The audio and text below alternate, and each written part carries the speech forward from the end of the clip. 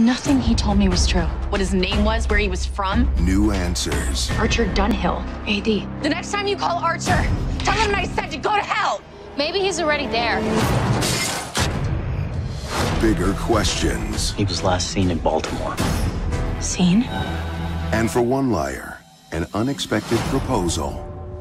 All new Pretty Little Liars. Tuesday, 8, 7 Central on Freeform. Catch up anytime with the app or on demand.